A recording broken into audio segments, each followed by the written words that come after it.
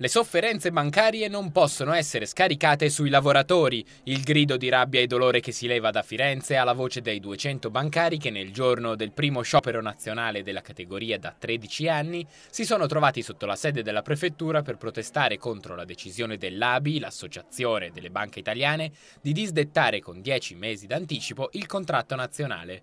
Scelta che potrebbe poi tradursi in un taglio del 10% circa dei posti di lavoro, che in Toscana significa 2.000 persone persone, ma non solo. Il 31 ottobre infatti scade il nostro fondo esodo di settore che è la garanzia, è il paracadute che ha permesso a tutta la categoria finora di far uscire 50.000 colleghi e lavoratori senza che la collettività ne avesse carico. Un fondo cofinanziato da dipendenti e banche, unico ammortizzatore sociale del settore che assicura anche il ricambio generazionale e l'ingresso dei giovani in filiale ma la giornata di mobilitazione, dicono dal presidio, serve anche ai dipendenti per prendere le distanze dai 140 miliardi di euro di sofferenze bancarie.